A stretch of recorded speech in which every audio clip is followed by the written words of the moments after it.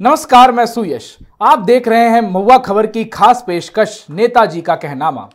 भारत में लोगों को खुले में शौच करने का अलग ही मज़ा आता है। कुछ लोग शौक में करते हैं, कुछ लोग मजबूरी में, या तो फिर कुछ लोग होते हैं जो मज़े लेने के लिए करते हैं। लेकिन मैंने यह सोचा कि क्या भारत एक पुरुष शौच प्रधान देश है? मैं भारत में और पुरुषों को शौच प्रधान देश से इसलिए जोड़ रहा हूँ क्योंकि भारत में अधिकतर कई जगहों पर आप चले जाइए तो वहाँ पर लिखा हुआ आप देख लेंगे कि दीवारों पर यहाँ पर शौच करना मना है। यह कहीं नहीं लिखा रहता है कि पुरुष कर रहे हैं या फिर महिलाएँ इसका उपयोग कर रही हैं, लेकिन निन्यानवे दशमलव नौ नौ फ़ीसदी जगहों पर आपको पुरुष ही खुले में शौच करते हुए दिख जाएँगे, महिलाएँ नहीं दिखेंगी। और इसीलिए मैंने सोचा कि क्या भारत एक पुरुष शौच प्रधान देश है? हो सकता है कि कहीं शौच ना हो तो दिक्कत हो सकती है, लेकिन उसके बावजूद भी कई एक ऐसी चीज़ें होती हैं। अब देश में हमारे प्रधानमंत्री नरेंद्र मोदी जी ने जब स्वच्छता अभियान चलवाया तो पूरा देश उनके साथ चला। सोचा कि हम स्वच्छता का आवाहन करते हैं घर घर में शौच बनने चाहिए। और प्रधानमंत्री मोदी तो हमेशा कैसे कहते आए, जब वो मुख्यमंत्री थे तब भी, जब प्रधानमंत्री हैं तब भी, कहते हैं कि भैया पहले शौचालय, फिर बाद में देवालय। लेकिन इन सबके बीच में हिमाचल प्रदेश की सरकार ने कमाल का ही काम किया है। उस सरकार की बात की बात मैं बाद में करूँगा, लेकिन हमारे देश में एक नेता हैं, जो कि चुनाव के दौरान घूम घूम कर ये कह रहे थे कि भैया, जैसे ही हम चुनाव जीत जाएँगे, वैसे ही आपके अकाउंट में खटाखट खटाखट खटाखट, फटाफट पैसे आना शुरू हो जाएँगे, महिलाओं को हम पैसा देना शुरू कर देंगे, देश की अर्थव्यवस्था को सही कर देंगे। अब मुझे नहीं पता है कि नेताजी को पता है कि नहीं पता है, देश खटाखट, फटाफट के नारों से नहीं चलता है। देश चलाने के लिए मेहनत करनी होती है। और साथ ही में आपको इस बात का ध्यान भी देना होता है कि ये जो खटाखट, फटाफट, सटासट वाली बात आप कर रहे हैं, देश चलाने के दौरान ये सब काम नहीं आते हैं। देश चलाने के दौरान काम आता है आपका अनुभव, आपकी मेहनत और साथ ही साथ इस देश के 150 करोड़ देशवासियों की सलाह। हर व्यक्ति के पास अपनी अलग समस्या है तो सरकार का मतलब खटाखट, फटाफट नहीं होता है। विकास किस तरीके से करेंगे, पूछा जाता है तो कहते हैं खटाखट, फटाफट, सटासट। सुनिए क्या कह रहे हैं। नरेंद्र मोदी ठकाठक ठकाठक, फटाफट फटाफट फटाफट, ठकाठक बोल रहा है। न जाने कहाँ से लाते हैं ये खटाखट, फटाफट वाली बात। देश की अर्थव्यवस्था मेरे हिसाब से तो इतनी अच्छी बिल्कुल भी नहीं है, और निर्मला ताई ने तो एकदम अच्छी नहीं रखी है कि भैया आप अगर चुनाव जीत जाते तो आप महिलाओं के अकाउंट में फटाफट, खटाखट पैसा डलना शुरू कर देते, और इस देश के विकास को आप फटाफट, खटाखट करा कर देते। ऐसा कुछ होता नहीं है। चुनावी बातें अच्छी लगती हैं, लेकिन जब आप जमीनी स्तर पर उतरते हैं, जब आप सरकार में बैठते हैं तो बातें कुछ और हो जाती हैं। हर दल इस बात को देखने की कोशिश करता है कि भैया, जैसे ही चुनाव आए, वैसे ही हम लोक लुभावन नीतियों के ऊपर काम करना शुरू करते हैं। चुनाव जीतने से पहले या फिर चुनाव के दौरान जब इस देश के नेता जनता के बीच में जाते हैं, यानी आपके बीच में आते हैं तो आपसे एन केन प्रकार कई प्रकार के वादे किए जाते हैं। हम ये चीज़ मुफ़्त दे देंगे, हम खाने को मुफ़्त कर देंगे, हम शिक्षा मुफ़्त कर देंगे, हम स्वास्थ्य मुफ़्त कर देंगे, हम बसों की यात्रा को मुफ़्त कर देंगे, हम आपके लिए दवाइयाँ मुफ़्त कर देंगे। करना चाहिए, भैया, अगर आपके पास पैसा है तो करिए। लेकिन हिमाचल प्रदेश की सरकार ने तो कमाल का काम किया भैया। जब आप मुझे ये बात सुन रहे हैं और मैंने शौचालय से बात की, शुरुआत की है तो हो सकता है कि जब अगर आप इस समय अपने शौचालय में हो और अगर मुझे सुन रहे हो तो नित्य क्रम करते वक्त हो सकता है कि आप रुक जाएँ या फिर अपने आप इस खबर को सुनने के बाद आपकी रुक जाए। इसलिए क्योंकि जो खटाखट फटाफट का दावा और वादा कर रहे थे, इनके नेता भी कुछ इसी तरीके से काम करते हैं। पहले विक्रमादित्य सिंह ने कहा, कुछ भी मुँह में आया बोल दिया। अब इनके नेता ने कह दिया है, इनकी सरकार ने इस बात का आवाहन किया कि भैया अब इस देश में शौचालय टैक्स लगेगा। इस देश में नहीं, बल्कि इस देश के एक राज्य, हिमाचल प्रदेश में, जहाँ पर कांग्रेस की सरकार है। अब इसको लेकर के जेपी नड्डा से लेकर के निर्मला ताज तक सबने इनको घेर दिया। कहा कि ये शर्म की बात है भैया कि आप शौचालय पर टैक्स लगाने की बात कर रहे हैं। बात तो सही है। एक तरफ़ हमारे प्रधानमंत्री घूम घूम के कहते हैं कि भैया, पहले शौचालय, बाद में देवालय। अब भैया, जिनके घर में शौचालय है और शौच करने के लिए जाए तो उसके लिए भी अब टैक्स देना पड़े। वो दिन दूर नहीं है, मुझे लगता है ऐसा, कि जब इस देश में ऐसा भी आएगा कि रास्ते में आप चल रहे हैं, आपने मुँह खोल के सांस ली तो कहेंगे, टैक्स दो। आपने खासा तो आपने बैक्टीरिया फैलाया, उसके लिए भी टैक्स दो। टैक्स पे टैक्स लेते चले जाएँगे, लेकिन जब बात आती है कि भैया हिसाब दे दो, जब यही जनता जो आपको टैक्स देती है, वो जब आपसे हिसाब मांगने के लिए आती है तो नेताजी उखड़ जाते हैं। और ये सभी नेताओं की आदत है, किसी एक नेता को मैं नहीं बोल रहा हूँ। पहले के नेता अलग होते थे। मैं उदाहरण के रूप में अगर बताऊँ तो एक बार जवाहरलाल नेहरू संसद भवन के बाहर से जा रहे थे तो एक महिला ने उनका कॉलर पकड़ लिया। और कहा कि बताओ कि इस देश ने हमें क्या दिया? तो उन्होंने कहा कि इस देश ने और इस देश की आज़ादी ने आपको इतनी ज़्यादा तो आज़ादी दी है कि आप इस देश के प्रधानमंत्री का कॉलर पकड़ के पूछ सकते हैं कि बताओ कि आपको आज़ादी ने क्या दिया? आपको देश ने क्या दिया? उस समय के राजनेता हुआ करते थे। आपके राजनेता हैं। इनसे जरा सा सवाल क्या पूछ लो भैया? तो भड़क जाते हैं। जिन बातों को लेकर के हिमाचल प्रदेश की सरकार सामने आई, उसको बाद में वापस भी ले लिया गया।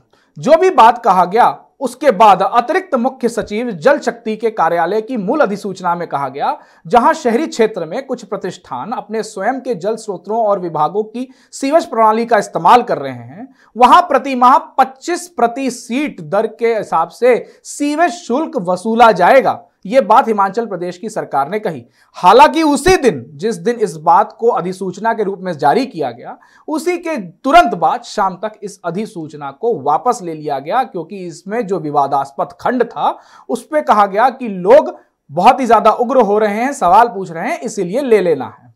हालाँकि जो संशोधन किए गए, उसमें शर्त संख्या तीन में यह डाला गया था, जिसको बाद में हटाते हुए कहा गया कि ऐसी कुछ बात नहीं है। सुखविंदर सिंह सुक्कू ने दिल्ली से इस बात की सफ़ाई दी और यह स्पष्ट किया, लेकिन उन्होंने भाजपा सरकार के ऊपर आरोप लगा दिया। अब देखिए भैया, आरोप लगाया है कि भारतीय जनता पार्टी ने जब वो सरकार में थे, क्योंकि इससे पहले भारतीय जनता पार्टी की सरकार थी तो उन्होंने कहा कि जो फाइव स्टार होटल हैं, भारतीय जनता पार्टी ने उन होटलों पर भी किसी प्रकार का कर नहीं लगाया था। उन लोगों को मुफ़्त पानी दिया जा रहा था। लेकिन जब हमारी सरकार आई तो इसके बाद हमें जनता के हितों के लिए काम करना था, इसलिए हम ये प्रावधान लेकर के आ रहे हैं। मात लिया बात आपकी। जब आपको यह पता था कि आपके राज्य में ये ये ये समस्या है तो आपको लोक लुभावन वादे करने को किसने कहा था नेताजी? सुखविंदर जी, ये सवाल आपसे ही पूछा जाता है कि जब राज्य में पैसा नहीं था, जब आपको पता है कि आपका राज्य एक ऐसा है जहाँ पर हमेशा आपदा आ जाती है, और जब भी आपदा आती है, एक दो रुपए का नहीं, हज़ारों, लाखों, करोड़ों का नुकसान करके चली जाती है, उसके बावजूद भी आप काम करते हैं, आपकी सरकार काम करती है, चाहे बीजेपी रहती हो, चाहे कांग्रेस रहती हो जब भी चुनाव आता है, आप लोग लोग लोहान वादे करना शुरू कर देते हैं। जब जनता को देने की बारी आती है तो जनता के ही पैसे का इस्तेमाल करके आप जनता को वापस देते हैं और फिर कहते हैं, भैया देखो, सूट चमकाते हुए कि हमने जनता के लिए इतना कुछ किया है ना कमाल की बात।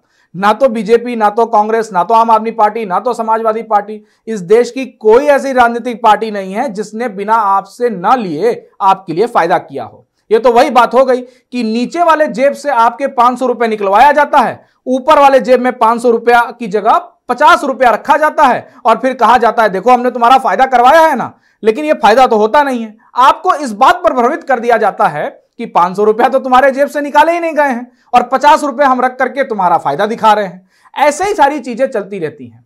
लेकिन इन उपायों के बावजूद कांग्रेस सत्ता में आई और उसके बाद अब ये पानी मुफ़्त करना सीवेज पर टैक्स लगाना, इन सब बातों का प्रावधान चलता रहा, विरोध होता रहा और धीरे धीरे करके चीज़ों को खत्म किया गया। जब विरोध प्रदर्शन शुरू हो गए, जब इस देश में जो बीजेपी के लोग हैं वो प्रदर्शन करना शुरू कर दिए, सवाल पूछना शुरू कर दिए, तब उसके बाद ये सारी चीज़ें हुई। अब रिज़र्व बैंक की एक रिपोर्ट बताती है, क्योंकि हिमाचल प्रदेश में कांग्रेस की सरकार है। इससे पहले बीजेपी की सरकार थी। बीजेपी ने भी जनता से कई मुफ़्त वादे किए थे और फटाफट चुनाव जीतने के लिए खटाखट, फटाफट, सटासट मुफ़्त जनता के बीच में बांटने की कोशिश की। अब वही काम कांग्रेस ने भी किया। भैया, उनको चुनाव जीतना था तो उन्होंने भी वादे लंबे चौड़े किए कि हम इस तरीके से आपको सत्ता में आएँगे तो ये फ़ायदा देंगे, हम महिलाओं के लिए ये करेंगे, हम युवाओं के लिए ये करेंगे। कीजिए ना।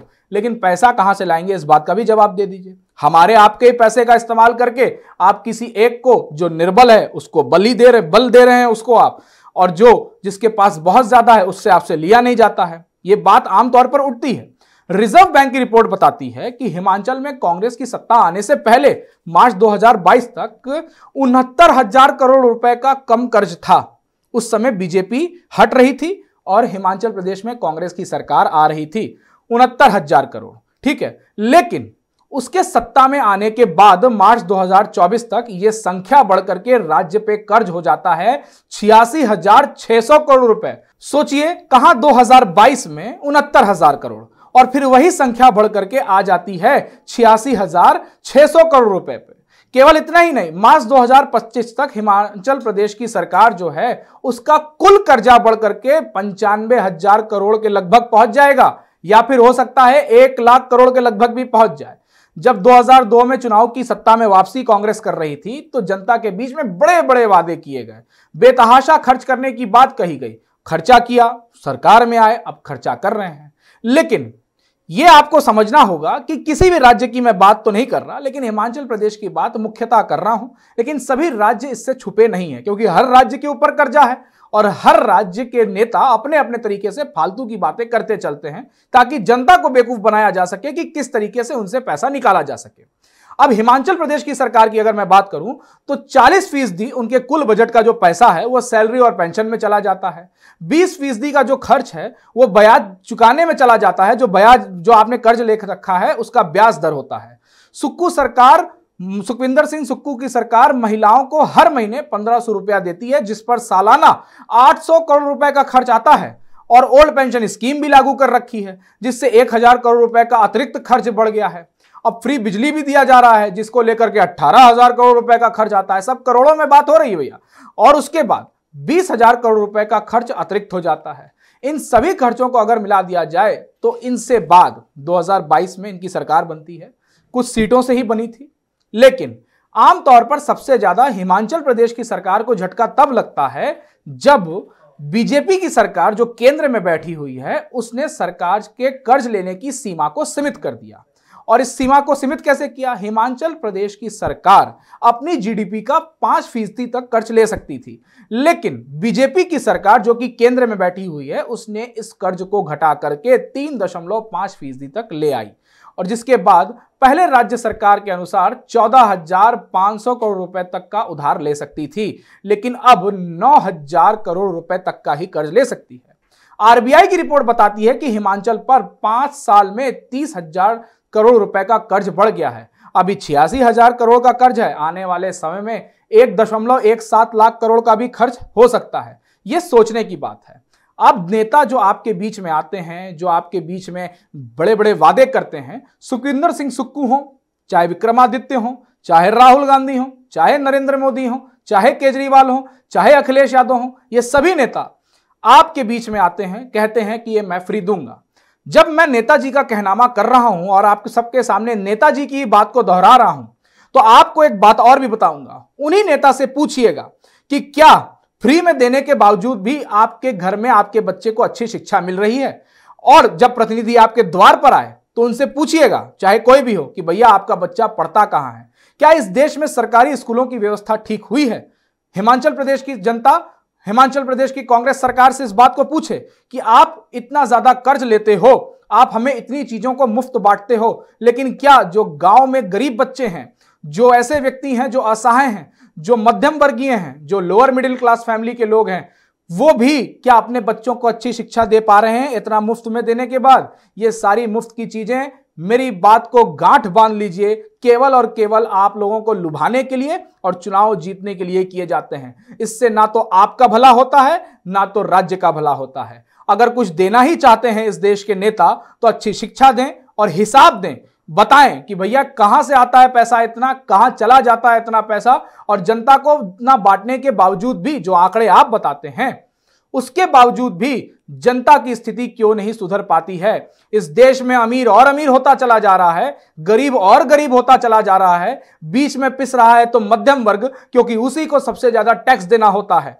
इस देश की एक हार्श रियलिटी बता रहा हूँ, इस देश का एक कड़वा सच बता रहा हूँ कि जिनके पास पैसा है वो कर्ज लेने के बाद इस देश को छोड़ करके भाग भी जाते हैं तो उनके ऊपर कोई कार्रवाई नहीं होती है। लेकिन मध्यम वर्गीय अगर कर्ज लेता है तो अगर चुका भी नहीं पाता है तो उसके कब घर में रखा हुआ मंगलसूत्र भी बिक जाए बैंक वाले भी लेकर के चले जाएँगे, उसके ऊपर भी कोई कुछ बोलने के लिए नहीं आता है। ये इस देश के नेताओं की करनी है, ये इस देश में आप जो वोट देने के लिए जाते हैं, ये आपको सोचना पड़ेगा। किस प्रकार से नेता कहते हैं आपके बीच में आकर के कि हम आपके लिए अच्छा काम करेंगे?